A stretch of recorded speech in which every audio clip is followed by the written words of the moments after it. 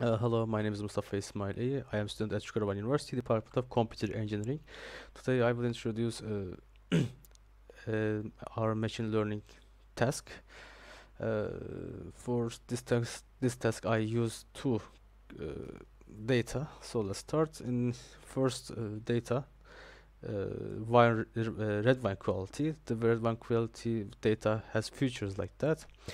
Uh, then here I just scaling up the features into 0 and 1 values uh, and the in in this part uh, splitting the values target and features. Uh, after that our task says that mm, you have to implement two-fold cross validation with the two-fold cross validation is here. Um, for multilayer perceptrons uh, I use the TensorFlow Keras.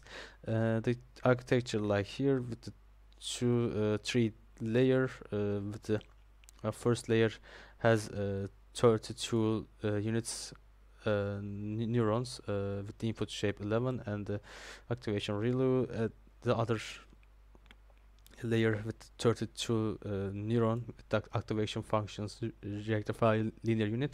And the last uh, output is just one unit because the regression problem in the uh, with using Keras uh, say, uh, like that with no activation functions just using uh, one neuron after the comp the compilation part uh, optimizer. I just select the stochastic gradient descent and loss function uh, mean absolute error.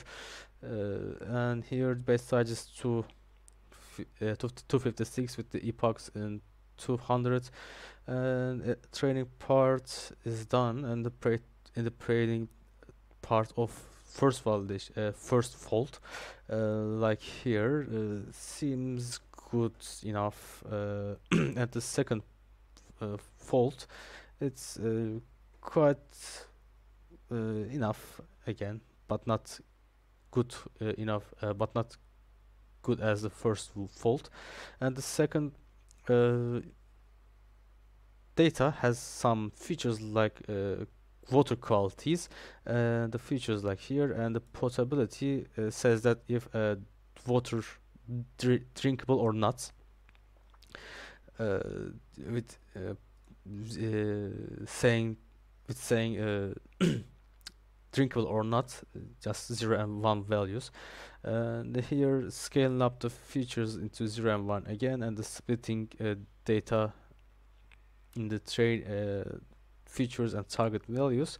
But the two-fold cross-validation implementation is same but architecture also same. The differences it is input shape and uh, output uh, layers uh, because the input shape is different uh, why our feature uh, count is different and the layer uh, output layer is different because in this part I have to make uh, c- classification uh, the binary classification. In the compilation part as a uh, appropriate for binary classification. Loss function is binary cross entropy also uh, metric is binary accuracy and here same uh, training uh, parameters uh, as before and the training is done. When training is done uh, the graphics like here in the first fold and the second fold and the mm, classification uh, accuracies is not good enough for a classification uh, uh, problem because the uh, validation binary accuracy is just how can I say? 0.61 uh, that's not enough but in the uh, regression part the uh, validation loss is uh, so close to 0.5 it's so acceptable but not uh, for the classification problem. Uh, the interpretation is the all uh, a model is not appropriate uh, for all uh, problems. So uh, all problems need a unique or different models requires the problems or data requires that. So thank you for listening to me